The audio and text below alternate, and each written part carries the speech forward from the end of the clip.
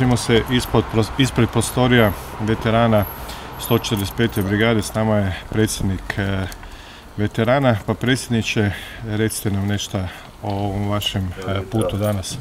Dobro jutro, eto, danas krećemo put Rab, iz Raba idemo ovaj, Sveti Krgru, pa idemo na Goli otok, idemo obić mjesta stradanja istinskih Hrvata, to ćete se tek uvjeriti.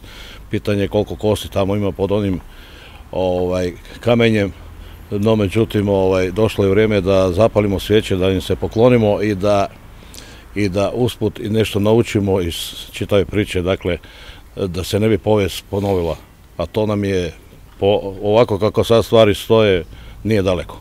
Evo 4.30 je ujutro, rano, ali e, ima vas e, dosta. E, koliko ljudi ide na ovaj put? Ide, ide 60 ljudi. 60 ljudi ide, dakle ovaj, pun jedan bus. Idemo zajedno sa udrugom PZO Dubrava, dakle u suradnji s njima smo ovaj, osigurali da odemo, da posjetimo ta sratišta i da se poklonimo žrtvama, a među nama je i, i moj jedan veliki prijatelj iz školskih dana, Daniel Matijašec koji je sam bio sudionik zatvora na Golom otoku. Kako je došlo do odluke da e, stalno ste na putu, stalno... Pa mi smo stalno negdje, stalno putujemo, ovaj, obilazimo, e, Hrvatska je puna e, tih stratišta, puna je kostura i, i trebala bi biti opomena za, za budućnost. Dakle, ovaj, odlučili smo, trebali smo puno ranije to obaviti, no međutim nije se moglo poklopiti e, iz razno raznih e, nekih situacija i te sezona, te ne sezona i tako dalje, no međutim sad smo odlučili idemo to odraditi pa ćemo vidjeti kasnije kako će, kak će se nastaviti, a mislim da nastavljamo dalje istim žestokim putem. Evo idemo i mi zajedno s vama, kamera će pratiti e, cijeli put, e, napravit ćemo jedan dokumentarni film, razgovarat ćemo s ljudima i da vide i oni koji nisu e, s vama na putu. Hvala lijepo, hvala lijepo. Hrvatska javnost mora znati istinu. Samo istina, samo istina oslobađa sve, svako zlo. Eto, hvala, pa krećemo. Hvala.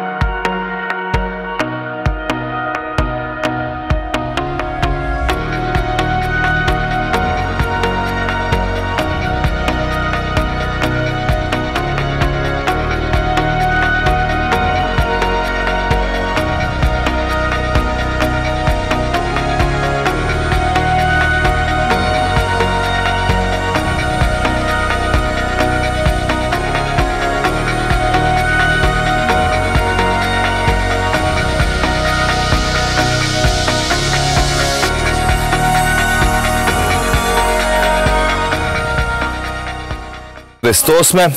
Krajem 1948. 1949. Tu su počeli dolaziti prvi, prvi zatvorenici, znači takozvani infobirovci.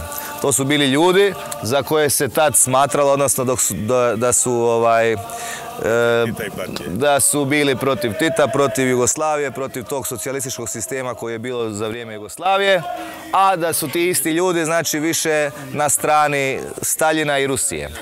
Znači, to su ti infobirovci koji su bili tu od 49. do 56. Znači, u tom razdoblju procjenjuje se da je bilo negdje otprilike 13.000 političkih zatvorenika, mada se točan broj ne zna jer nikakvih dok- nikakve dokumentacije, papira ni ničega nema. Znači, možda postoji to negdje u Beogradu ili negdje, ali uglavnom tih papira znači nema. Ne zna se znači, imenom, prezimenom ko je bio, koliko je dugo bio na Golom otoku i šta je još e, možda najinteresantno. Znači, kogod je došao na Goli otok i koji je pušten, da li je to nakon godinu dana, dvije, tri, nije smio pričati o tome di je bio, šta je doživio i znači to je bila ono potpuno zabranjena tema. Moj brat je bio tu. Da. 12 godina 12 stariji od Za mene. godinu dana onda je udbaš bio. Ali tri godine bio tu. E, bio bio, pobjeći. nakon tri godine da. Ma da. I pobjegli je u Italiju. I baš je pobjegao. Spasite. Ajde, super. Svaka čast. Onda Da, bravo. Belgiju. Rijetko, je- znate šta, teško je preplivati jer ovaj, s obzirom da smo mi tu nekako u sredini, Velebit je tu, Rab, Grgur, Prvić, znači ovaj otok On je dosta... preko Istre išao, jer su Dalmatinci pomogli ovi čobani koji su Aha, imali aha. ovce i to, onda nije bilo turizma, ne? Jasno, da, i onda je ovaj, 58. godine. svaka čast ako, tako je to. Svaka čast, da. Da, nema puno slučajeva da je neko pobjegao s sad Nema, nema, nema puno ovaj slučajeva da su, znam da su i da je jedan isto ovaj pobjegao, preplivao je na Grgur u Lopar, iz Lopara pješice do Raba i onda su ga i časne sestre ovaj, na Rabu čuvale jedno mjesec dana i taj isto uspio pobjeći. Uglavnom, ovaj, e, vrlo teško je bilo plivat, a i ljudi nisu znali gdje se nalaze. Znači, ko prvo ovaj, bili su iscrpljeni, znači nije- nisu bili baš, ni, nisu, bili su, nisu bili ono u kondiciji za, za preplivat. Odavde, od- tu se izgleda da je to blizu, ali tri milje tovar je, tovar je šest kilometara i to plus ta strujanja i tako dalje, tako da je jako puno ljudi ovaj, stradalo, utopilo se, znači možda čak najviše je ljudi stradalo od je po noći Baš. zbrisan. Da. To, to vrijeme Infobiroa je bilo uh, strašno toliko šta su recimo ljudi završili na golom otoku bez ikakvog suđenja, bez ičega. Znači dovoljno je bilo da susjed kaže "E, ova ima sliku Staljina u dnevnom boravku ili, ili da je u kafiću ili negdje rekao nešto za Staljina, a protiv Tita. Znači isti dan ili idući dan bi završio ovaj, na golom otoku. Da. A daj mi Familije nisu bilo znali gdje. sa ženama sa golog otoka, kako su one nestale? Pa evo, kako ja imam informaciju, znači isto 49. su došle i žene na Goli otok, kad i muškarci. Čest je bio slučaj da bude i žena, muž i žena da zajedno završe na Golom otoku, s tim da su žene bile u uvali, znači nekih dva kilometra na, na onoj sjevernoj Da, strani da. prema Velebitu. E, i oni su bile tamo do 51. I onda je, doznali su zatvorenici koji su bili tu da su žene tamo negdje na drugoj strani. I onda, onda je masovno, pa ma- masovni pokušaj prebjega tamo da vide da li je supruga tamo, sestra, ne znam, član obitelji. Tako da su tu nastali problemi bili i onda su žene preselili na, na otok Grgur. E, tako da, to je taj dio. Mislim da je bilo negdje oko 500 i nešto 600 žena sveukupno ovaj, u tom razdoblju. A procjenjuje se da je bilo znači tih 13.000 političkih zatvorenika infobirovca. Od tih 13.000 ono, isto tako sad ne mogu ja ništa sa sigurnošću reći, ali ono, nevinih je bilo više, više od, od tri četvrtine nevinih, a sad baš infobirovci koji su bili pravi, najviše ih je bilo iz Srbije, Crne Gore i to oficiri koji su bili poslije drugog svjetskog rata na, na, na obuci u Rusiji. Znači to su bili oficiri koji su išli tamo na dovoljno. Dovoljno je bilo to da si bio godinu, dvije dana na obuci u Rusiji, imao si si osigurano mjesto na golom otoku. Bio je, da, ali ovaj, Tito je, da, sebe, da. Jel dokumentacija se negdje čuva? O- Ne, pa nema? kažem, baš evo, niste bili tu kad sam, niste bili tu, ovaj, dok- ono, dokumentacije u principu nema, ono, ne zna se, nikakvi točni podaci se ne znaju šta je bilo, kako je bilo. Tek 91. ljudi su počeli pisati knjige, memoare i pričati o tome šta se dešavalo baš u to doba tu. Znači, a većinom svi koji bi došli od Golog otoka nisu imali nekakve šanse za zaposlenje. Više manje svi su pobjegli, otišli u inostranstvo. Čak i njihove fam- familije su bile šik- šikanirane na način da ono, aha, on je došao s golog otoka, on je neprijatelj države, ajde, to se tako gledalo. Da, da, stigmirani su bili svi. Da. dobro, ali ovi koji su išli u školu, koji su završili školu, Da, to sad, sad dolazimo do... Sa Sad Golog do otoka, kao da. da, nema- nemaju diplomu, nego da imaju diplomu iz Rijeke. Da, je- bila je škola, bi- bila je škola za, za ovaj, zidare, te majstore, čak je bio za bravara. E, To su zanati. kad prođemo ovuda pored odjela 102 vidjet ćete te, te škole koje su napravljene. Ali to je sve napravljeno znači poslije 56. Znači tu, zato sam na početku rekao da Goli otok ima ono tu povijest znači do 56. i poslije 56. Nakon 56. tu je ostalo još tih političkih zatvorenika koji, se, koji su pokušali pobjeći pa, pa je neprodužen boravak i tako dalje i tako dalje. Pa je bilo puno ljudi koji su bili puno, puno duže nakon 56. godine. Moja sestra se rodila 50. godine kao deseto dijete. Mhm. I Tito je bio ovaj, e, kum, jer onda je bio takav zakon, ne? Da, da, deseto dijete, Onda da. smo mi dobivali za njezin rođendan svake godine pakete i to on je to zgladio, htio zgladit, znate sve. A, a moj brat bio na golom otoku, Da, Koja ne? ironija. da. Eto vidite. Čujte, ono, poslije drugog svjetskog rata puno se loših stvari dešavalo ne samo u, u Jugoslaviji, nego i svugdje. Znači, to je, cijeli istočni blok je bio pod, pod, pod represijom, ono, Doktrinom Sovjetskog saveza. Sovjetskog saveza, znači, pa mislim, znate i sami da je više Rusa umrlo poslije drugog svjetskog rata nego za, Sad za je vrijeme više nego više- Hitler. nego što je Hitler pobio, Gospodin nažalost. nama prezentira ovoga šta je tu, puno stvari nije otkriveno, kad će se otkriti te stvari, da li će Beograd ikada otvoriti ili ne, ono što je prava istina. Pa možda nisu. je bolje da nije i da ne znamo. Da. Jer možda bi bilo svega i previše i tako da, Da. mi ne možemo sad negdje nešto očekivati, možemo moliti ovo što je tu čovjek, čovjek nam prezentira ovo šta je tu i šta se Da. desilo. Znamo šta prezentira. Sad, sad kad, kad idemo napraviti taj krug, kad idemo napraviti taj krug po golom otoku, ja ću vam reći koje, čemu je služila koja zgrada, znači što sad vidite. Ali te zgrade nisu bile do 56. Bilo je nešto sasvim drugo. Znači 50. 49. kad su došli prvi zatvorenici, tu bile su barake. E, barake gdje, su, gdje je bilo po 300, 300 ljudi je spavalo u jednoj baraki. Takvih baraka je bilo ono 30-40 e, u, u, u nizu. Ovo što ćete sad vidjeti, to je napravljeno sve kasnije. Znači, nakon, ok, neke zgrade su napravljene 51. Recimo, ona je napravljena 51. koja je bila na početku upravna zgrada, a 56. je e, transformirana u posjetnu. Znači, kad je ovo, kad je ovo postao zatvor za, za maloljetne delikvente do 21 godine, ono je bila znači, posjetna zgrada. Do 56. normalno nije bilo dozvoljeno nikakve posjete ni ništa. Isto tako, e, kad prođemo tamo gore, vidjet ćete e, dio koji je isto napravljen 49. 50. nešto, ali kažem, većina, većina tih zgrada je napravljena kasnije. O, vidjet ćete sve ovo kamenje što vidite sad, ovaj, ovaj mali, mali dio, znači po cijelom golom otoku imate tih e, ručno obrađenog, ručno obrađenog kamena jako puno, znači ljudi su bili tu ne samo u zatvoru kao zatvorenici, nego su imali i ovaj, to je bio radni logor, mislim. Znači mogli su raditi ili u kamenolomu, znači metalnoj industriji, kamenoj i drvnoj industriji.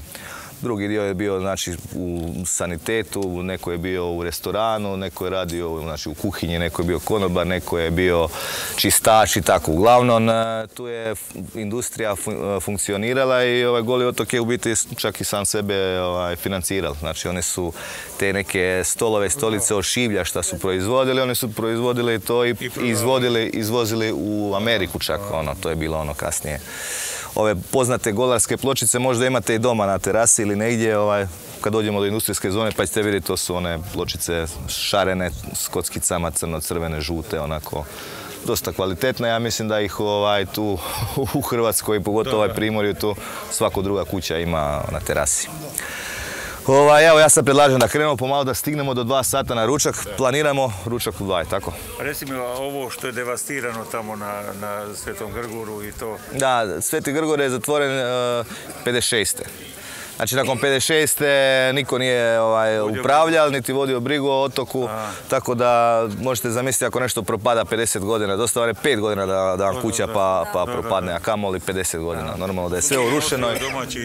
A sve se nosilo, da, šta god je, šta god je ko stigao. Propada, bivše upravne zgrade. Ona je bila upravna zgrada od 51. do, do 56.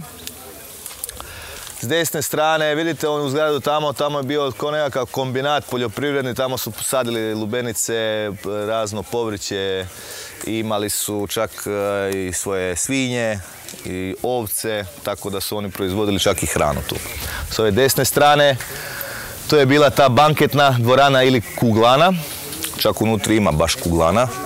I e, isto tako tu je bio projektor kamo su prikazivali nekakve filmove i ta zgrada je služila samo za čuvare, za, njihove, za njihovo slobodno vrijeme, tu su provodili pili, jeli i tako dalje. Kao kino.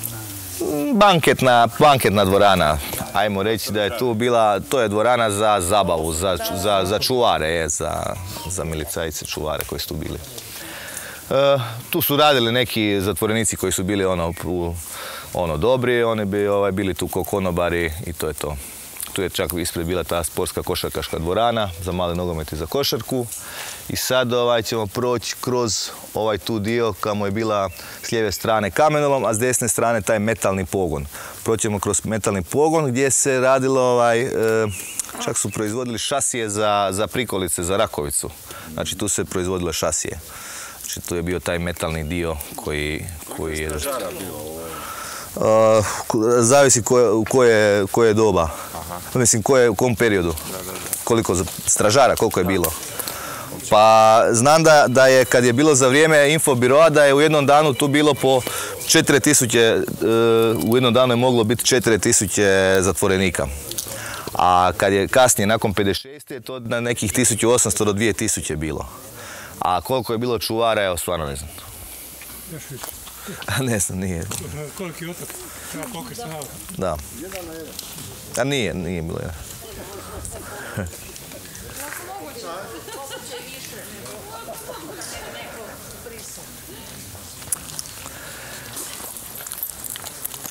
Imali su slučajeva ono, ovaj, u tom metalnom dijelu, oni koji su radili u, u metalnom pogonu, znali su napraviti od, od boce kisika ili od nečega ovaj, lulicu i naprave ko jet pogon.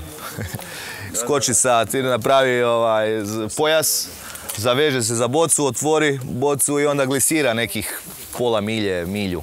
Ali opet mu je dovoljno da, da bar krene taj jedan dio, da, da, da ga ne vide, ja. Da, da, da. Bilo je ono, ljudi su pff, svašta radili, ja. Snalazili. A da, kad razmišlja o tome kako pobjeći. Da. Bilo je i pametni ljudi, da.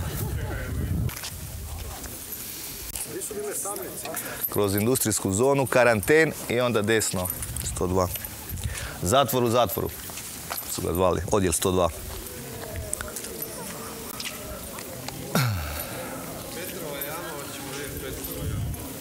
Petrova jama je oma pored karantena.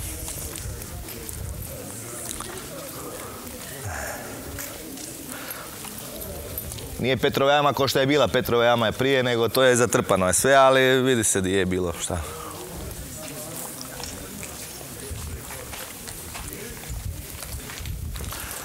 Samo oprezno tu da ne nagazite na čaval ili nešto.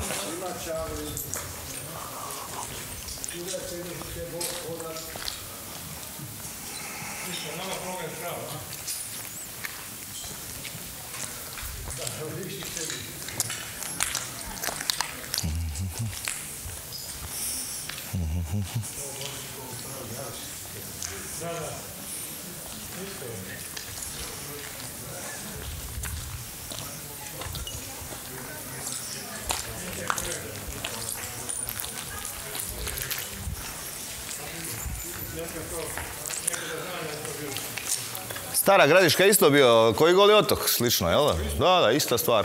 Bili smo tamo. A bili ste i tamo. Kol- koliko je tamo bilo zatvorenika, ne znam. Ne znam, otprilike. Isto veliki prostor. Da, pa ovo, ovo kad bi se išlo cijeli goli otok, ono što smo prošli, onaj dio tamo, kad smo dolazili do golog otoka, tamo je bilo remontno brodogradilište. Tamo su farbali brodove ratne, ono.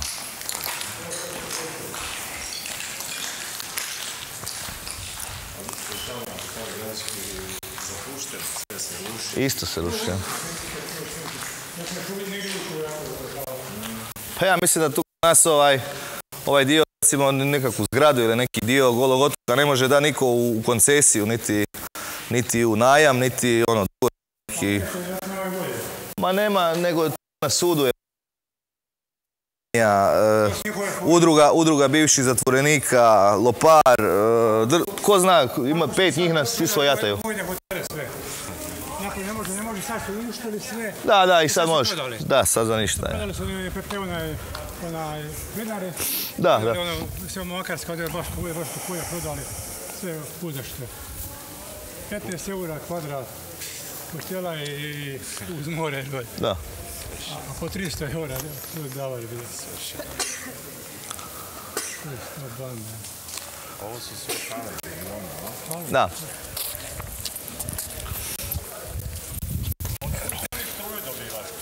Ima struje skopna. Ima skopna kabel. S Velebita, znači Velebita tu ide kabel. Na početku ne, na početku je bila ovaj, generatori su bili na početku. Ste bili na ovome dole na Gr- Svetom Grgoru, ima generator unutra. Tamo ima generator, ali na Grguru nije, nema kablova, znači tamo je, nema.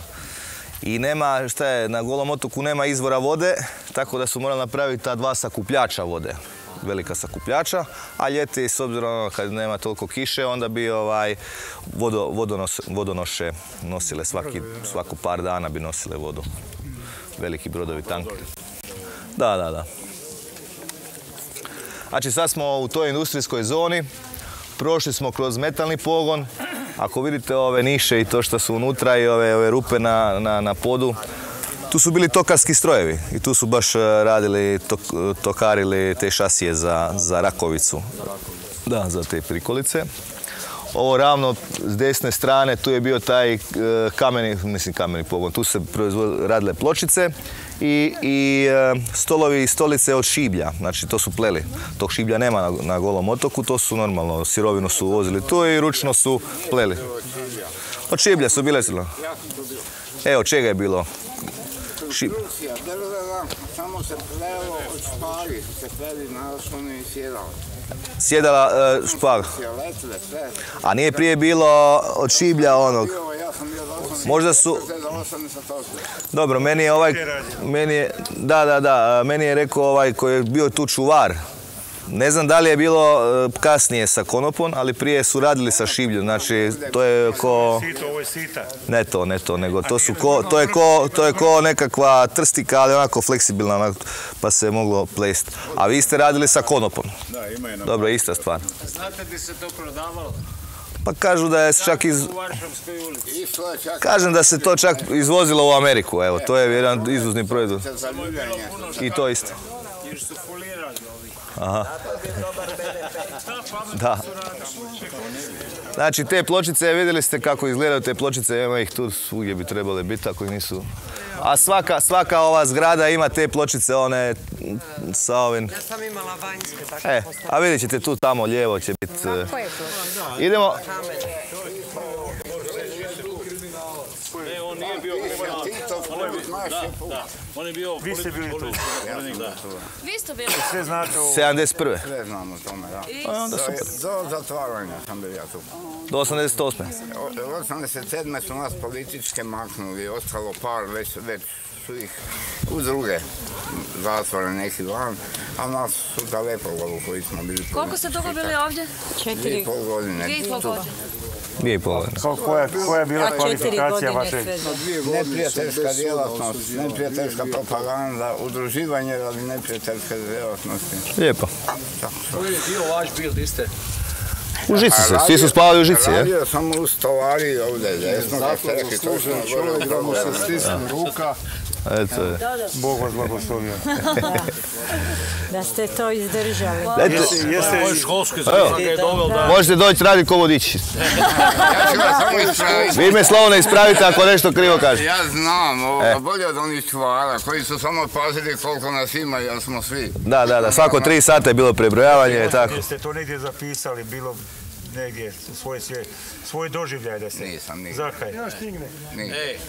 Mislim da nikoga sam ne znam. Sve prehvatilo. Ono me interesira, interesira Ako nije zapisano, nije se... Baš me interesira tu s lijeve strane, tu je bila ambulanta mala i, i šivaona, šivaona. Jesu tu bile za uniforme Šivaona je bila, ali ambulanta je bila gore na vrh brega. karanten onaj, to je na vrhu, da. karantene je bila A što nije tu bila mala, mala ko ono, pri, mala ambulantnica, to, u slučaju da se nešto nekome desi, tu je na mala, nije.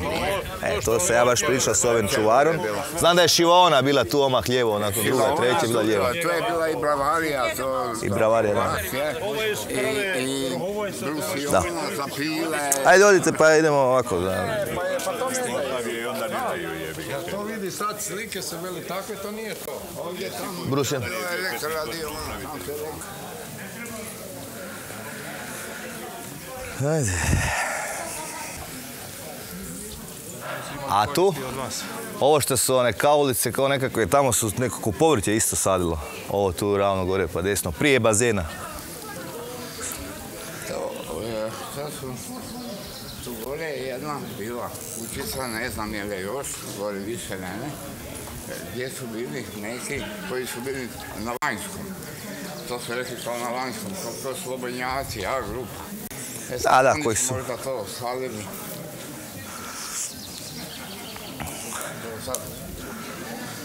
sad, svi smo mi bili klasificirani po grupama.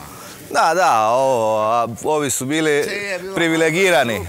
A je bila najbolja privilegija, su imali A grupa. A B, skoro nikakva prava.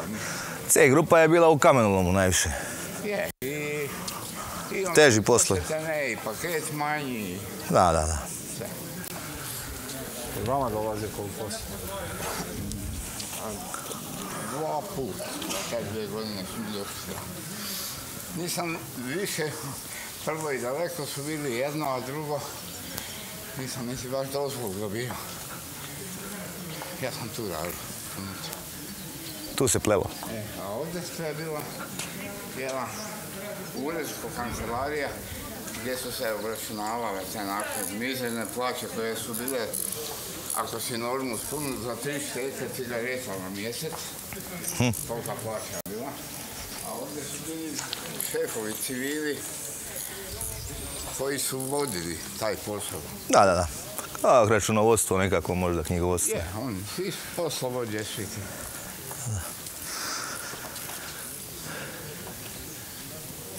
Tu je bila tiskara. Tiskara. Tiskali su nekakve zatvorske novine. Koje niko nije čitao, ali su tiskali. To je jedan po mjesečno, kako šta je to? Je, je. Bilteni. Bogateri su radili to. A gdje ste vi radili?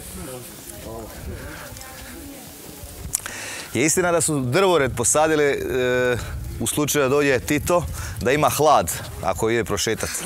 To ne bi znam, neću da nije- To je bilo, znači, ne- 60 reke su imali ovaj, To je bilo davno prije. je rečeno da bi, da će Tito doći pogledat e, Goli otok. Mada nikad nije bio, znači, nikad Tito nije bio na Golom otoku, ali znam da su onda posadili drvored s jedne i druge strane u slučaju da ako Tito dođe da je prolazi kroz hlad, da ne bude slučajno prošeće po, da, da se pregrije na suncu. Da. I onda je svaki zatvorenik bio zadužen za svoje stablo. Znači, čak je ono, puše jaka bura i to, on drži stablo da... Nije došao. Nikad nije došao. Sad je to vidjeti drvored. Sad je bi propala, ali... I još neke uslužne djelatnosti. Ovi, ovi zidari, keramičari, tamo tu su ove.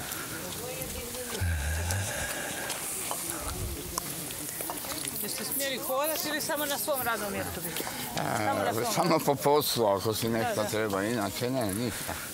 Nema šetnje I nikud. tako u, u stroju na posao, u stroju s posla. Nema, nema da, da ideš, mislim, nema zidova okolo, ne smiješ nikam ići, moraš uvijek biti Na oko. Mene zanima, mene završili ovdje? Ja sam napisao smrt Jugoslavije, živjela NDH. Evo, to je moj, moj grijeh. Veliki je. E, a oni su meni još pisali da sam se udružio sa drugima. Da ti pisanje. Da sam... Da. Nije znao sva slova. Da se udružiti. neki prijatelj dobar vaš sada. Ne, ja ne znam, bilo nas je, bila su tri suđena na jedan put, jedno u Osijeku, jedno u Zagrebu i ono Varaždinu i mi smo kao svi, a ni se poznavali, nismo svi. I vas su Smo ti, smjestili? I vas su smjestili ovdje? Da, mene i još dvojicu mojih sam susjed. A ovi drugi su bili poletovali i staro gradište. To je bilo to, vanjsko, koji su bili A grupa, ova. Tu su oni spavali. Oni su smjeli. Oni su sad možda imali nešto. Vrt ili nešto. Da, da, tu su, tu su bili tu nekakvi... Jer su oni možda bili provokatori. Ubačeno među vas pa da... Pa, a nešto su morali biti da. jer ovo, Doušnici neki ne bili. možeš dobiti nekakvu privilegiju ako nisi baš Njihova. njihov, da. Podoban. Tu je bilo masa provokatora da je pipkaju ko što radi. tak, ne. Hoće neko bježat, neće. A Organizirati. ne samo to, kako bi oni pod kontrolom imali sve, oni su imali svoje, a ljudi se prodaju za, za ništa, za, za jedan pol hile teži paket da slobodno dobi. A šta je ovdje bilo na desnoj strani? Tu je jedan veliki, to, to je spomena napravljeno, tu se kisnica skupljala. To je bazen. Ali, tu gore. pri, je, ali prije nego više to nije bilo funkcije, već su vozili vodu brodom. Nam je vojska vozila vodu kad sam ja bio. A prije se to skupljalo, to je veliko. Kišnica, da. Ali- Poplaćeno i to se skupljalo, ta kišnica. A sad ima isto ovaj, taj, taj sakupljač vode je gore, a ovaj tu je bazen. No, no, Da. Tamo je sakupljač. Jeste bili u okovima ili ste slobodni? Da. Ne, nisam. Ali tu vam postoji... Tu vam, je, tu vam postoji zatvor u zatvor, ovo je zatvor. Odjel Svaki 102. Taj zatvor ima, je tako je.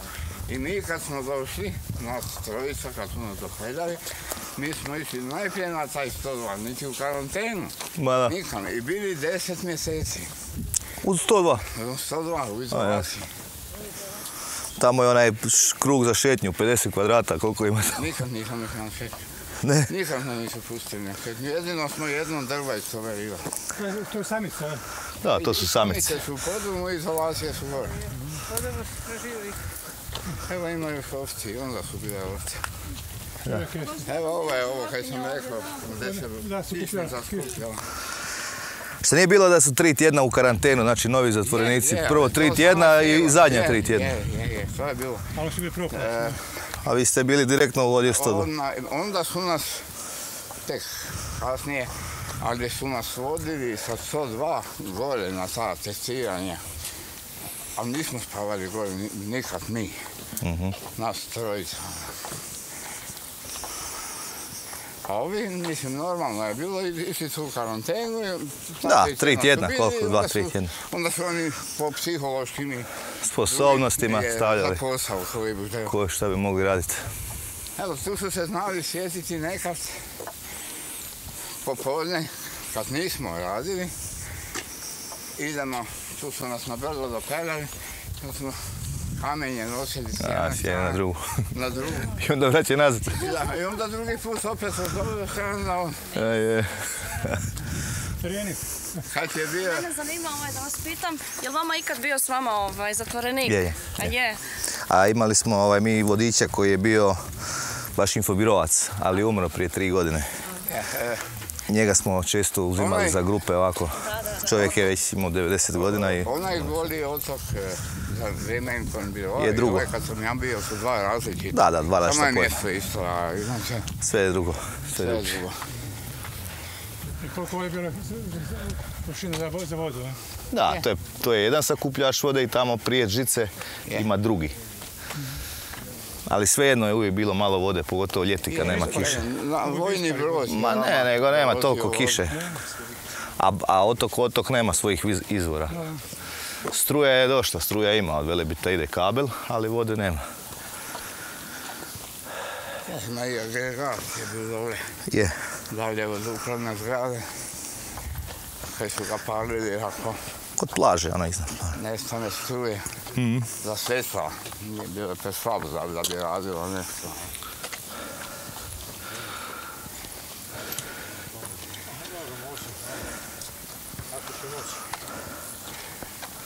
Ali nema ovih zgrada ih još ne vidim jer su srušene.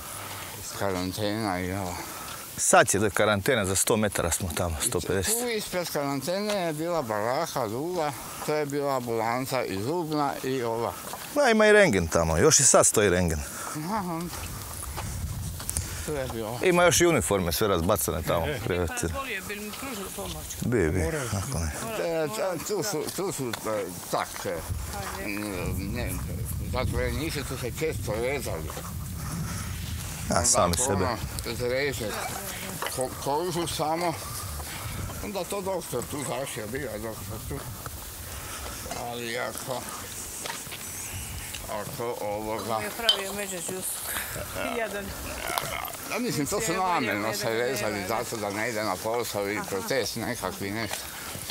E, to je, to je, ono je karantena Da. i ova bolnica tu.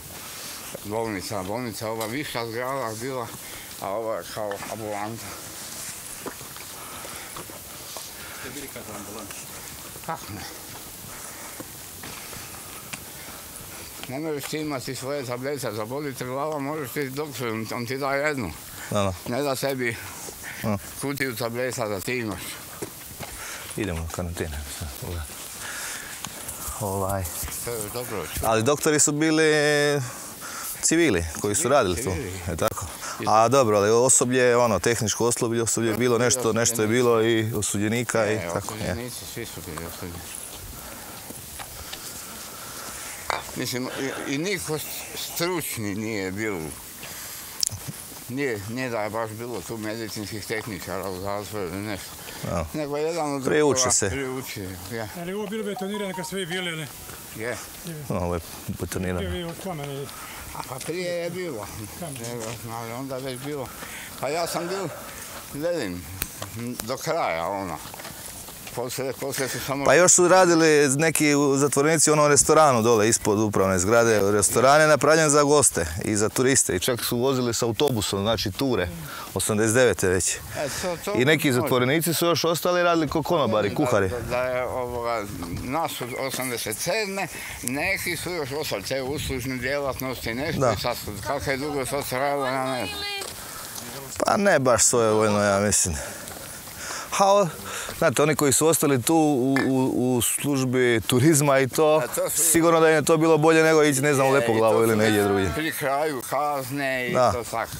Pokazali se solidni, Da, da, da. može To su lijepo ono, to je funkcioniralo, ok, sa tim autobusom se radila ta tura kod cijelog otoka, dođe se do restorana. Restoran je skoro nov, znači sve je bilo ono, napravljeno novo. A to danas nema ture da se. Nema, da. Pa nekako pokupava drva. A kaže, sve je to bilo dobro zamišljeno dok, dok nije zaratilo. Kad je zaratilo, kad nije, nije bilo turista, nije bilo zarade i onda se to napustilo. Otok se napustili jednostavno i, i devastiralo se. Ovi nisu, sa političari novi nisu htjeli da zazna, to su njihovi bili ovdje. Aj, šefovi, svega. to je problem. Ko sada brine o... Pa baš evo pričam da ovaj, na sudu su ono županija, općina Rab, Lopar, bivši, udruga bivših zatvorenika, pa ne znam, ono, svi se sude i na kraju nakon 30 godina to još niko ne upravlja otokom. Pa. I zato je to tako kako je sad. Sad da vi, da vi želite uzeti u u koncesiju ovaj karanten na, na 10 godina, nemate od koga dobiti dozvolu papirnu, ništa.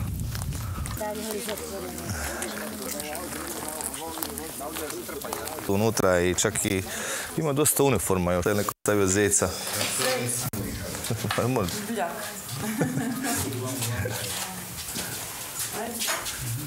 Rengen, prvi rengen.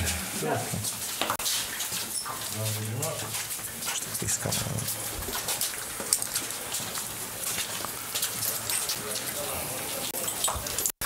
Znači to je bila ambulanta, rengen tamo, karanten.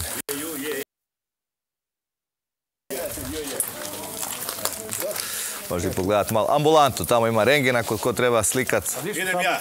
Ultra, ultra, ultra. Evo, imate, tamo je sve. Ajmo. Ali čekaj, imam jehur prazan. Da.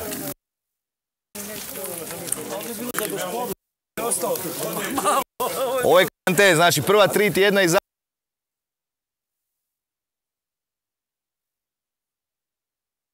Smjestiti u koji, koji odjel, znači da li će ići u kameni pogon, da li će biti konobari, kuhari ili tako.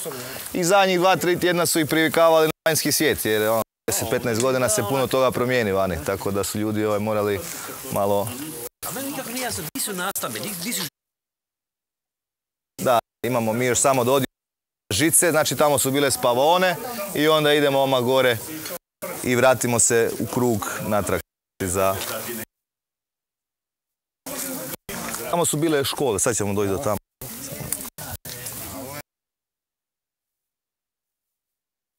Ovaj, zatvoren dođe oko prvi osmog restoran pojesti ono nešto uzeti za piti. Nisam došao, to je zatvor, zatvor. Da.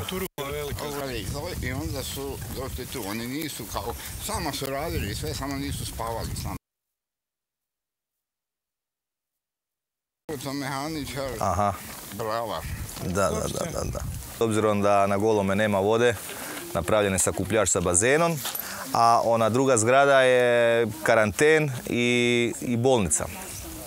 Znači tamo smo vidjeli onaj rengen koji još i, i tamo su ovaj, u tom karantenu bili zatvorenici prva tri tjedna u pravilu. Imamo zatvorenika koji nije bio prva tri tjedna. Isto tako zadnja tri tjedna ovaj, boravka na golom otoku, isto tako su ti zatvorenici bili tamo za, radi prilagođavanja vanjskom svijetu. Evo, vi možete sad reći vaše iskustvo u vezi odjela 102. Mi smo imali kao privilegiju politički, nas trojicu su u Maldici dopeljali direktno svim trajekta i nismo ni, ni znali da je to goli otok, niko nam nije rekao kam idemo i odmah tu na taj 102 i izolacija. I deset mjeseci izolacije smo mi bili tu, nas trojica. Tek onda smo ne u karantenu spavat, nego su nas vodili u karantenu svakodnevno, a tu spavat. Onda smo počeli raditi i opet još tu spavali, onda tek dole. Užas. Da. To je, Žica je bila hotel u usporedbi sa... Verni sloboda kad smo došli. Da. A idemo pogledati sad te samice unutra, ovaj, koje su ovako Ja dosta ću vam malo. pokazati svoju.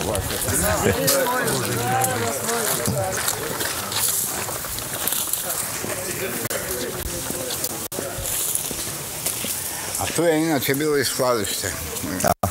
Opreme, ovo, odjeća i ovo. A, uniforme.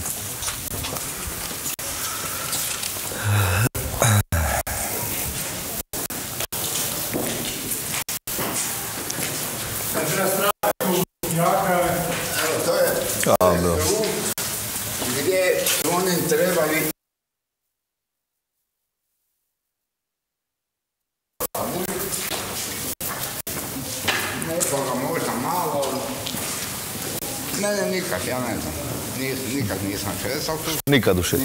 Ali ima i tamo još jedan baš za, za šetu, mali. Ne, 50. ima tu lijevo. Sad ti. Dobro, tu su i ove samice, omah lijevo.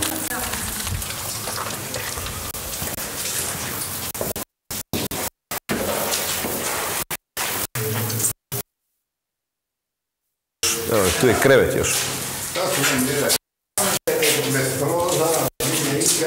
Tamo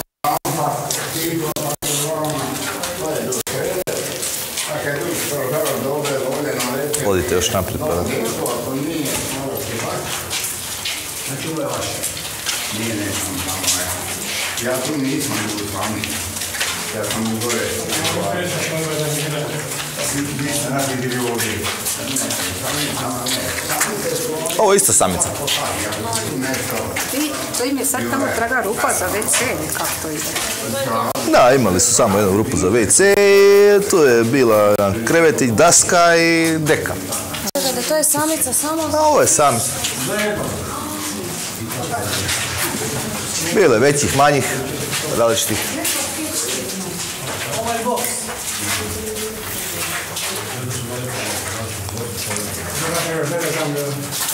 A šta su trebali napraviti ljudi da dođu sami u takav veter?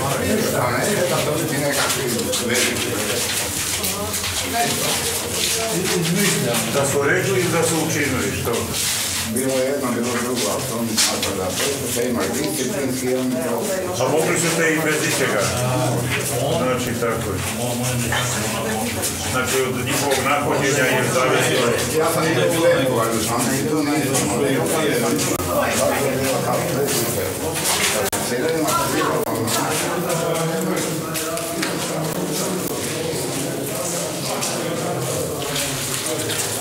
Demonstrei o nosso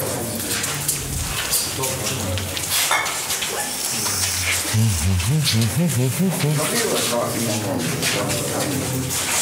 Ili su. Sadašnje vrijeme nije obaveza u zatvorima.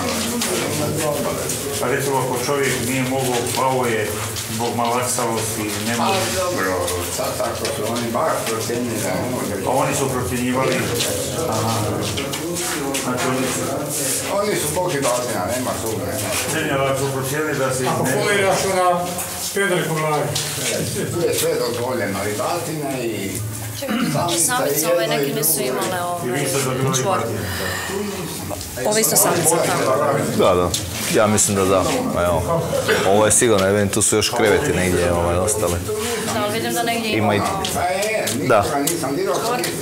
pa Ne- negdje ima, negdje nema. nemaju.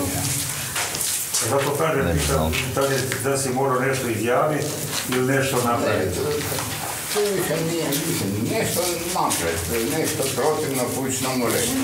Aha. To su onda kazne. Tamnica, to je najstroža kazna bila, a blaža je izolacija, to je gore. Izolacija je na katu gore. Dva, tri u sobi. To je za blaža. To je izolacija, To je gore na katu. Ideš na posao, kad mi nismo išli na posao, da smo nismo bili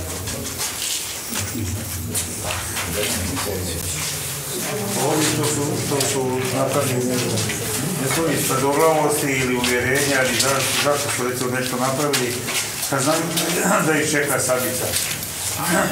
A dobro, posvađaju se, potuku se ili nešto naprave, nešto. ono, Da. Većina mladih delikvenaca bila koji su Da. Poslovne domove, ovo ono. Mi, Da. mi politički smo bili bez problema. Silom prilikom među njima. Politički nije ni bilo puno u to doba. A nije bilo to je, politički, ono, možda 30 na, na cijeli taj broj. Obzirom da je on politički bio. Da, da, da. Mi smo se držali skupa, nismo mi puno s kriminalcima družili. Da, kriminalaca koje baš neću ili opsuje ili udari ili ne znam. O, da, pa svaki dan je bilo nekakvih Da, da, situacija, zato. sigurno. Sprto sam nešto napravio, onda ga kazna. Da, da, dobro, dobro sad. Da. Idemo dalje. Idemo prema žici onda sad, idemo. Jedino ako gore idete vidjeti vašu sobu. Otiši u vašu sobu. Gospodin je gore 10 mjeseci spavala u sobi 10 mjeseci. na početku valjda. Jednu noć, jednu To inače, noć inače mi je pričala ovaj čuvar da je maksimalno bilo do tri mjeseca da nekoga stave u, u odjel 102, ono, da je to bila ono najveća kazna tri mjeseca. A on je bio A on je u 10 startu, znači u početku došao 10 mjeseci bio tu, ono. A to što je napisao, ne znam, Smrt Jugoslavije. smrt Jugoslaviji, ne znam, NDH i tako. I, I to ti je skoro tri godine bio tu. Dobri je kazna. Da. Ma nije, previše vode pijem, pa se samo znojim.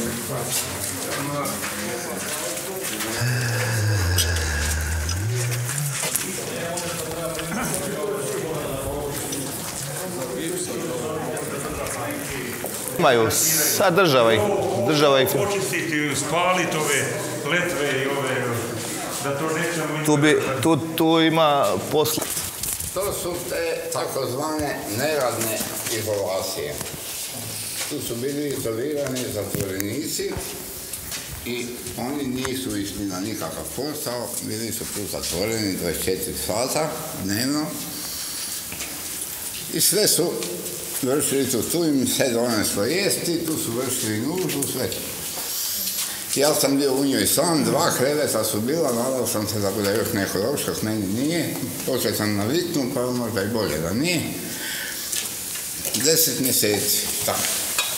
I tek onda smo počeli, su nas počeli voditi gore u karantenu, onda smo bili još jedno kratko vrijeme, s druge strane su radne izolacije i onda tek u žicu dole. I velim šetnju, kao pisalo u kućnom redu, dva sata imaš pravo dnevno, nikad ne nisu šetnju. Čekaj, svaki dan su vas pustili van? Nisu, Ne, ne, ne, nikad. ne, cijelo vrijeme u A nisu se I moje smjeli, niste pravo, ali smjeli nisu van? ga izvedli. I moje pravo na to. Pravilu bi trebao imati dva sata. Gdje ste zapjevali? I vas nisu, pa kako ste onda To ovdje? kad smo zapjevali, što je tužna jesen u vrtu. Ja ovdje, prijatelj ovdje i onaj drugi, mi, nas trojica. Ove, tražimo vode, ženi, malici smo se doperali do svim, nismo niš pili, jeli. I ovaj jedan veli, nadzornik veli ovomu drugomu daj im vode, a ovaj veli neka ih, neko sjete. A ja rekao, Štef, ajde bomo popjevali onu našu. Mi smo tu zapjevali, to se volilo, ovaj 102. E, sad će biti batina, ali nije bilo. Dobro ste pjevali. I dobili smo vodu. Evo vidiš što je optimizam kako, kako ima u, učinku. Već je tu bilo puno bolje nek Varaždini Vistari. Gore su bile i batine i ovo i ono. Tu toga nije bilo, tu je to izostalo, pa je to bilo bolje. Već u odnosu na ono. A kad smo premješteni dole žicu, to je bila sloboda. Sloboda. Žica bila sloboda. Osjećaš se nakon toga. Da, da. Da si Koja ironija, žica sloboda. Što ste dobivali za jelo? Pišite nam ujutro, popodne, navečer.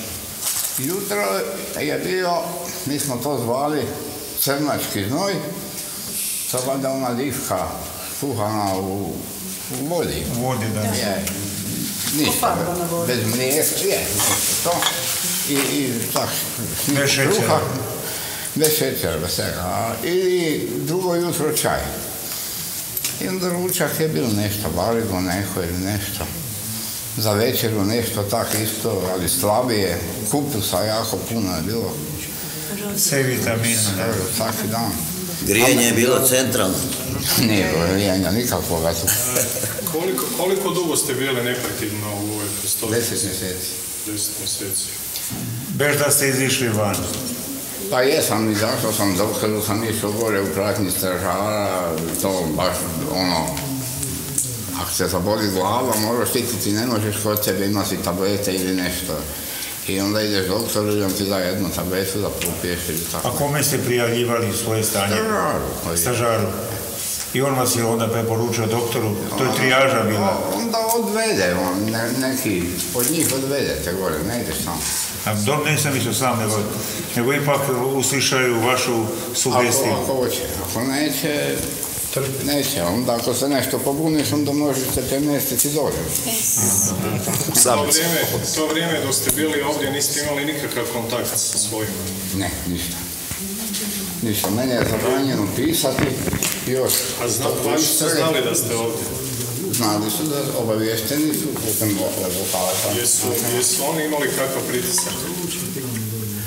Moja majka je imala jako veliki pritisak, ona školi radila, osnovoj i čak se glasalo za njezino izbacivanje, na sreću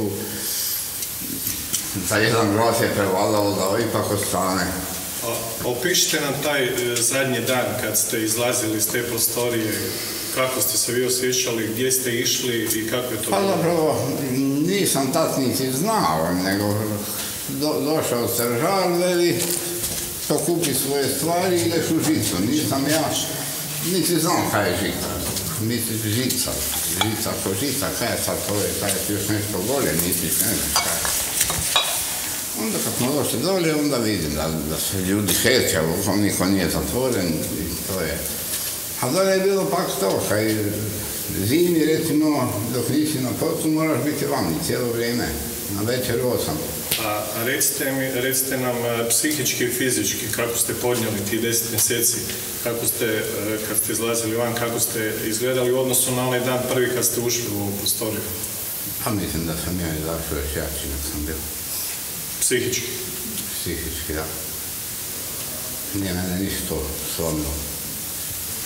Men, mene, ako su oni mene proglasili neprijateljem, oni su iz mene napravili veće. Jače. Nisam ja toliko, toliko bio zagrižen protiv toga komunizma kak sam onda postao. To je obavezno kasno. Napravili. To je reakcija. Samo, samo još za kraj da uđemo u prostoriju, da nam e, kažete e, što je bilo unutra, kako je ta prostorija izgledala kad ste vi bili u njoj. Dva kreveta i kanta u Da, kante. A jeste se išli kad kupati ili kako higijena? ta? Jednom na dva tjedna. Jednom na dva tjedna. Aha. Ima tam što tu sebe, tu bar su bili. Topla voda ili hladna? Hladna. Ja se sad više ne sjećam, eto. Više se ne sjećam. Ali, ne, a ne znam. Bitno da je voda. Da. Dole u Žici znam da je bila topla voda. Ali sad ovdje, jer je bilo to. Ali ja vjerujem da je i tu bilo neko grijanje. Ovi su imali grijanje tamo, ovi stražari. Čuvari su imali. su bile njihove prostore. Možda je dobili kakvo pismeno rješenje i Ja nemam jednog dokumenta nigdje da sam bio na golom mozgu. Bože dragi. A vaš advokat, je, jeste imali advokata? Jesam, I on ima šta? Advokat je umro prije nek sam ja van. i Ja nemam, Jel, jel niko nasljednika? imam ja presude, ja imam sve, ali baš da sam bio na golom otoku, to nema nigdje nikakvog okvira, ni da sam otpušten s golog otoka, niti da sam bio u golom otoku. Ništa. Jed, imam da je prekid kazne jer smo amnestirani smo 89. krajem 89. Da smo izašli. Jeste obeštećeni kako? 50 kuna po danu. 50 kuna, jako su Dvije se pokazali. Ne, dvije i Jako pol. Bilo je pet. Dvije i pol sam tu. A dvije i pol? Ja tu nisam išao doma, ja sam išao u Gospić pa Lepovac. Otišli Pet godina u komadu.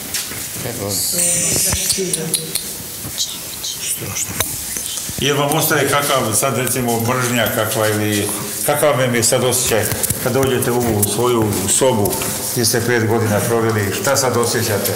Ne znam ja to zapravo... Ne možete definirati. Ne mogu definirati. Evo vidite, to je Mislim, najzadnije. Osjećaj Prošlo tu.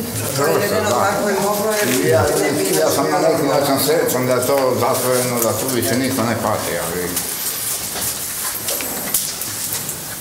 Jer obično čovjek mora neku satisfakciju dobiti od nekoga. Ne, ne znam, satisfakciju sam dobio, odmah sam se uključio da ovo ne vrati, da, jer ja sam tu vidio rušenje toga i takvoga poredka i to, zato sam ja mislio da to to. Aha, to vam je jedina satisfakcija. A i dobro, dobro. nema više, baš za sad nema više političkih zatvorenika. Jel sanjate kad ovako ove situacije i to? Često. Često. Evo vidite, to je to. To je ona upečatljivo što je ostalo u vama u podsvijesti. Kad probudim i onda olakšanje. Kad se upogled da, da, da nije istina ono što ste sanjali. Ne smiju to pjevati. Tri, tri dana zatvor odmah. Tri dana, da. Moj divan. Ja. Evo, to je ta žica, znači. Ovo što vidite lijevo splavone, ono gore splavone. Ako vidite onaj krov iz onih splavona, tamo je bila ta kino dvorana. Ima jedan sportski teren koji su imali za košarku. A ovo ravno gdje je ovo, ova prva zgrada, tu ravno, tu je bila pekara. Čak unutra ima i tih eh, ono, eh, strojeva za, za mjesiti tijesto još i tako. Ja mislim da je to A tu desno je bila ko šivaona i tu su ono skladište i, i uniforme su tu ovaj. Evo u ovoj zgradi tu dolje ovaj dolje meza je bila tu dole prizemlju. Da. Gdje je? Evo, tu ste. Evo, tu je sad. Tu je menza bila i do, menze ta jedna prostorija gdje smo zimi smjeli unutra Moglo nas je stati možda 50, ali nas je bilo 300. Ostali su bili vani. 300 vas je bilo. Do 8 sati na večer po vani, onda smo mislim, I tu, tu se za nagradu moglo kupati, jel da? U novoj plaži. Ne, ne tu. Ne? Ona tamo? Ni za ono, eto. A i s one strane? Ili na Sahari ko uspio preplivati. Je, isto strojili smo, isti čuvar s nama nismo. Sam ne smiješ nikam. Šta ste radili ovdje? Gdje? Tu je spavona. Spavali sam. Znači, Spavali tam. Nikakve aktivnosti, nikakvi posao, nešto, ne znam. Slušamo je note. Imali smo i kafić. Smijeti se ku nema. Kafić? Ovo, kafić, mi smo to zvali kafić, to je bilo... Da bolje ukrademo. aparat za kavu. I to je bilo otvoreno sat i pol popodne. Da se vjerno otvorili. Smo si došli do, da si došao na red za tu jednu kavu. Nestalo kao Nije, nego... Vremeno, Ne, vremenski. Puno ribe je bilo uz kraj, hobotnice, svega. Sve se posušilo ovo. To onda i Britoviša. Ko to je za Britoviša.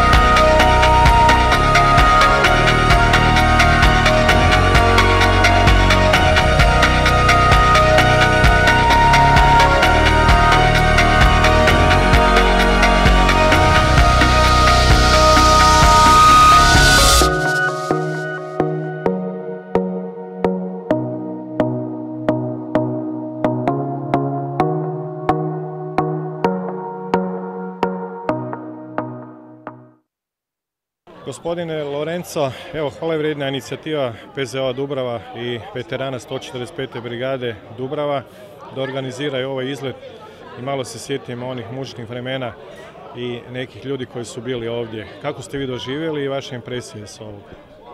Evo, nalazimo se na mjestu velike patnje koji su ljudi proživljavali. Patnje koju je Isus Krist svojim, svojom patnjom posvetio i patnje koju, koju su e, svi zatvorenici ovdje utkali u tu Kristovu patnju koja je posvećena i koja je utkana u slobodu koju danas živimo. Pa nam recite, evo, prošli smo cijeli krug, e, vidjeli smo zaista impresivne e, stvari koje se ovdje uz voditelja stručnog koji nam je sve objasnio. E, Kako ste vi doživjeli, vaši prijatelji, ovaj put? Dakle, osobno sam na ovaj put krenuo sa ciljem e, pomoliti za sve te duše koje su ovdje stradale, za sve one koji su zahvaćeni zlom, činili zla, da im Bog op- oprosti, a da one nevine žrtve primi u svoje kraljevstvo. I dosta je potresno i teško je e, riječima opisati osjećaje koji, koji prevladavaju u većini ljudi. Pogotovo zato što je s nama bio čovjek koji je sve to proživio i koji nam je iz prve ruke govorio o svim, svim bolima koje je tu podnio. Upravo tako, e, s nama je bio čovjek koji je tri godine proboravio ovdje e, na Golom otoku na pitanje kako je bilo e, njegovo stanje kad je zašao iz prostorije gdje je bio praktički 10 mjeseci. On je rekao da je izašao ojačan, psihički da ga nije dotuklo, da je iz te prostorije izašao još jači.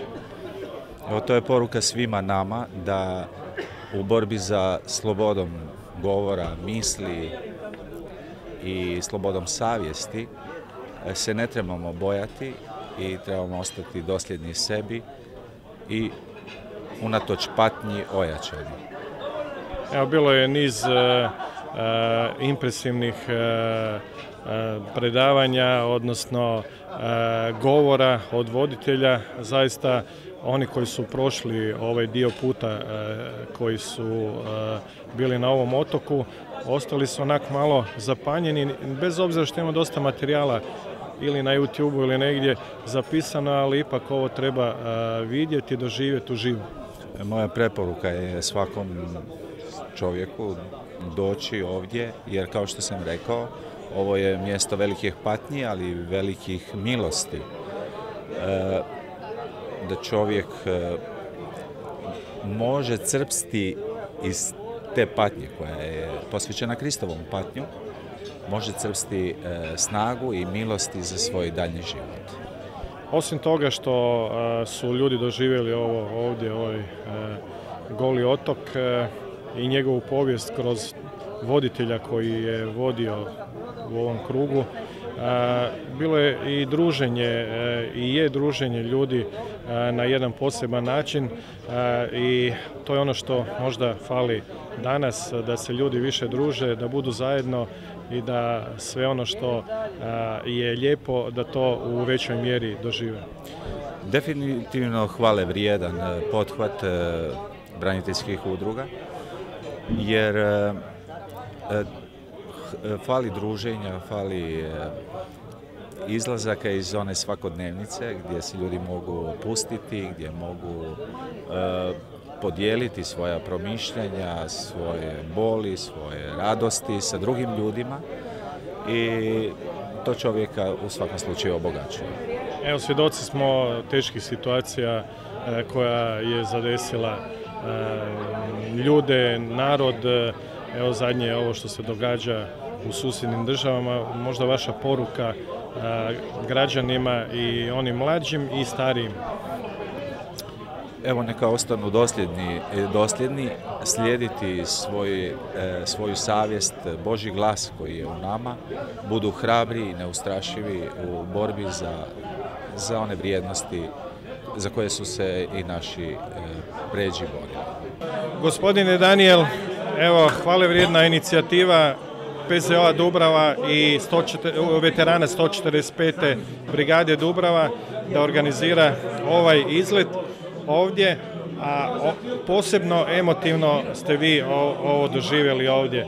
Opoznite e, naše gledatelje zašto? E, prije svega ja se zahvaljujem e, udruzi veterana Dubrava i njihovom predsjedniku Vladislavu Plančiću koji me pozvao da kažem svoja sjećanja jer sam svoju mladost dvije i pol godine provao ja upravo zatočen na ovom otoku. Evo, nakon 87. E, godine e, vi ste prvi put ovdje na Golom otoku. Kako ste doživjeli ovaj dolazak ovdje? Osjećaji su pomiješani, ne mogu ih još definirati. Treba valjda vremena da mi se to malo slegne. Nekako sretan sam da tu više nije zatvor, ali opet po drugoj strani nekakva, da tako velim, tuga za godinama mladosti koje sam ostavio ovdje. Podsjetimo naše gledatelje, podsjetite naše gledatelje kako ste vi došli ovdje, zbog čega ste došli ovdje, koje godine ste došli ovdje i koliko ste bili ovdje. Ja sam suđen po tri člana e, kaznenog zakona Jugoslavije. E, to su članovi svi, kako se to zvalo onda, neprijateljska djelatnost neprijateljska propaganda udruživanje radi neprijateljske djelatnosti i priprema terorizma. Znači, za svaki od tih članova sam dobio preko tri godine zatvora, ukupno deset, i jedinstvena kazna zatvora bila mi je sedam godina. A jedini moj, jedini nekakvi krimen, ako se to može nazvati tako, je što sam sprejom napisao parole smrt Jugoslaviji živjela NDH. I zbog toga ste dobili e, pet godina e, zatvora. Zbog toga, to, to, i to meni nije dokazano, to je izjava jednog svjedoka bila da sam to ja uradio, ali recimo to je konkretno da sam ja nešto uradio, ništa drugo. Kad ste došli ovdje prvi dan, e, opišite nam, recite kako, kako je to bilo, recite nam nešto o tome. Od prvog nas smo došli trojica, dovedeni smo. E, od prvog dana mi smo imali drugačiji tretman od ostalih zatvorenika. Mi smo odmah smješteni na takozvani OPN ili 102 kako su ga zvali, to je odjel pojačanog nadzora sa samicama i izolacijama. I tu smo proveli 10 mjeseci. Dok ostali zatvorenici su prvo išli u karantenu i dalje raspoređivani na radne zadatke već prema nekakvom sposobnostima, a na taj OPN ili odjel pojačanog nadzora išlo se isključivo po kazni za nekakve prekršaje, no mi smo i bez prekršaja to dobili odmah. E, vi politički zatvorenici držali ste se zajedno. E, koliko je bilo e, političkih zatvorenika tada i odakle, iz kojih država, iz kojih republika tada? Evo sada točan broj ne znam, bilo nas je oko 30, od toga negdje polovica smo bili mi iz Hrvatske, a polovica Albanci iz Kosova, politički. I mi smo se držali skupa. Koliko je ukupno bilo zatvorenika na Golom otoku tada? Pa ja mislim da ih je bilo oko 600, da, se tom brojkom baratalo onda. E, pričajte nam dalje što se događalo. Deset mjeseci ste bili u zatvorenoj prostoriji, praktički niste izlazili van. E, recite nam nešto o tome. Da, imali smo po nekakvom kućnom redu pravo na dva sata dnevno šetnje, međutim to pravo niko nije poštivao. Bili smo u tim izolacijama tih deset mjeseci da bi onda išli u karantenu i tek nakon toga smo raspoređeni. Ja i još jedan u stolari od nas trojice, a jedan u metalni pogon. Tu, tu smo radili 8 satno radno vrijeme i kad smo, onda smo i premješteni u takozvanu žicu. To su, to su zgrade, jedan krug zgrada gdje su boravili zatvorenici u svoje slobodno vrijeme dok nisu radili. Hrana, kako ste se hranili, recite nam nešto o tome. Ja ne mogu reći da smo bili gladni, gladni nismo bili, hrana, hrane je bilo dovoljno, no nije bila nekakva, ne znam, meso je bilo samo nedjeljom, a ovo uglavnom kupus, nekakva variva i tako. Bilo je nekoliko službenih, odnosno zabilježenih bjegova s Golog otoka. Je li to bilo u vaše vrijeme ili prije vas? Bilo je i prije, ali bio je i bijeg trojice zatvornika. Jedan od te trojice je diplomirani pravnik Filip Bagić koji je osuđen zajedno s nama, samo na izdvojenom procesu. On je u Zagrebu suđen, a mi u Varaždinu. Ali su oni nas povezali kao da pripadamo istoj organizaciji. I on je, on je uspio pobjeći, nažalost, na Velebitu su ga uhvatili i vratili. Preplivao je čovjek. Kad smo bili u sobi tamo onom, onoj zgradi gdje ste vi boravili deset mjeseci, ja sam vas pitao kakvi ste bili psihički, fizički kad ste izašli iz te prostorije. Rekli ste da vas to nije slomilo, da ste psihički bili još jači. Mogu reći da, da sam psihički bio, na neki način čovjeka ne da će očvrsnu. E, kad ti jednom dođeš do toga da se pomiriš sa tom sudbinom, pa onda ideš, ma makar i protiv sebe, ideš protiv svega i ne znam, mislim da me niti tada, ni sad već ne može i nisu uspjeli slomiti. E, nakon 87. godine kad ste otišli odavde, e, gdje ste e, nakon toga bili? E, nas političke zatvorenike jedan dan su pokupili sve. I u štivu broda, u trup broda, to nije bio trek, to je bio ribarski brod, su nas nagurali i u Svetom Juraju su nas povezali lancima i prevezli sve u Gospić. U Gospiću smo boravili zatvoreni otprilike mjesec dana, da bi onda svi mi, osim Filipa Bagića, toga koji je pokušao pobjeći i pobjegao, ali su ga uhvatili, e, bili pušteni da radimo u Gospiću i onda smo, ali preko dana smo bili pod ključom. To je trajalo par mjeseci i onda sam prebačen u Lepoglavu.